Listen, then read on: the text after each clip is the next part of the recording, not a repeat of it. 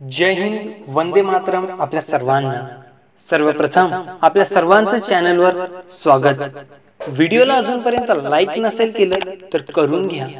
आणि नवीन आलेल्या देशभक्तांनी चॅनलला सबस्क्राईब करून बेल आयकॉनवर नक्की क्लिक करा. चला तर मग सुरू करूया. मी सर्वप्रथम भारतीय आहे आणि सर्वात शेवटी सुद्धा भारतीय आहे. मैं सबसे पहले और सबसे आखिरी भारतीय हूँ I am the first and last Indian ही संकल्पना जोपासणारे भारतीय राज्यघटनेचे शिल्पकार भारतरत्न डॉक्टर बाबासाहेब आंबेडकर यांनी जगातील सर्वात मोठी राज्यघटना लिहून देशाला दिलेलं दान म्हणजेच भारताचे संविधान.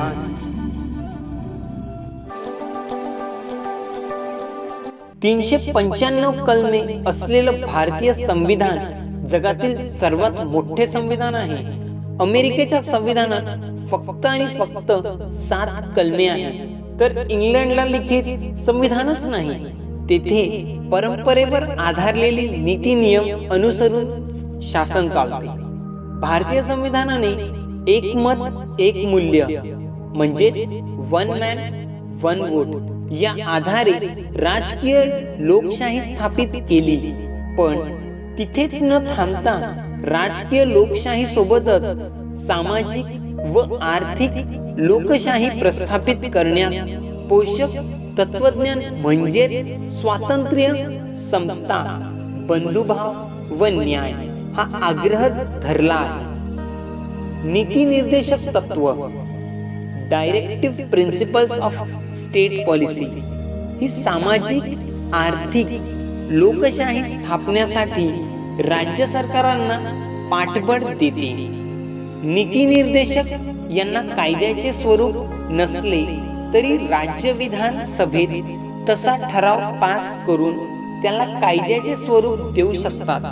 त्या अंतर्गत नंतर नागरिकांना न्यायालयात दाद मागता येते. या पद्धतीने आतापर्यंत अनेक तत्व कायद्यात रूपांतरित झाले आहे उदाहरण स्त्री पुरुषात भेदभाव न करता समान कामासाठी समान वेतन बालकामगार विरोधी कायदा शिक्षणाचा अधिकार याद्वारे बेकारी म्हातारपण अपंगत्व गरजूंना सहाय्यता प्रदान करून सरकार सामाजिक व आर्थिक लोकशाही प्रस्थापित करू शकतात.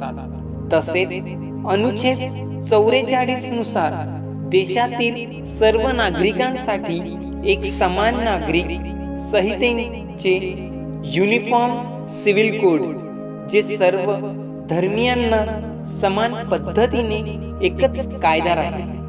या चौवेचाळीसव्या कलमाला कायद्याचे रूप देण्यासाठी सुप्रीम कोर्टानेही आव्हान केले आहे.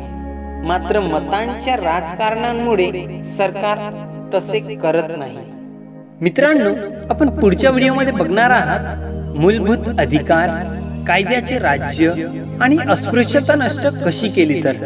चला तर मग भेटूया एक तारखेला सायंकाळी सात वाजता इथेच.